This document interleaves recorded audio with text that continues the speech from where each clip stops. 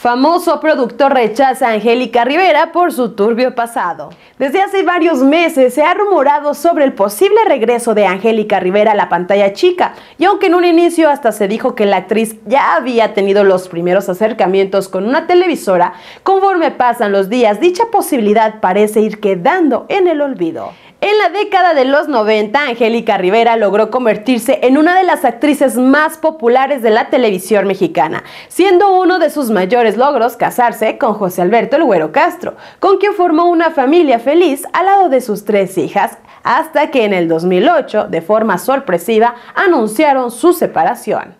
Pero el amor volvió a sonreírle a Rivera cuando en el 2010 llegó al altar del brazo de Enrique Peña Nieto, quien dos años más tarde se convertiría en el presidente de México. Situación que causó gran conmoción en el mundo del espectáculo, pero también en la trayectoria actoral de Angélica. Tras haberse divorciado de Peña Nieto a finales del 2023, la protagonista de La Dueña dio a conocer que muy pronto volvería a las andadas. Sin embargo, dicho regreso aún no tiene fecha, por lo que las especulaciones respecto que Angélica está pidiendo una exorbitante cantidad de dinero para comenzar a trabajar cada vez son más fuertes. Uno de los productores que abiertamente confesó que no le interesa trabajar con la gaviota es Manolo Caro, y fue durante una alfombra roja que el director aseguró que el tipo de actuación de Angélica no va de acuerdo a sus proyectos, pues aunque no aparezcan, él se los toma muy en serio y procura trabajar con puro farandolero profesional.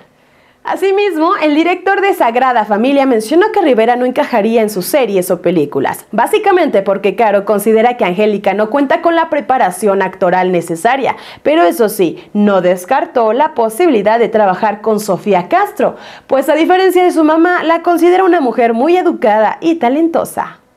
Cabe recordar que uno de los mayores éxitos en la carrera de Manolo es la serie La Casa de las Flores, la cual fue protagonizada por Verónica Castro, quien en el pasado fue cuñada de la gaviota, por lo que no sería de extrañar que la actriz de Rosa Salvaje haya movido sus influencias para que Rivera se quede chiflando en la loma.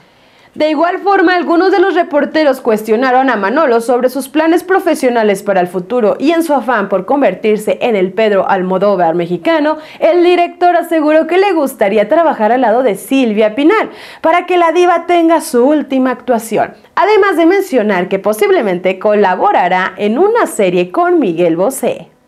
Aparentemente, una de las peores decisiones que ha tomado Angélica Rivera a lo largo de su carrera como actriz ha sido querer hacer el personaje de primera dama, por lo que no es extrañar que hoy en día más de un director se niegue a trabajar con ella debido a su oscuro y vergonzoso pasado. Hasta aquí la nota de hoy, nos vemos en el próximo borlote.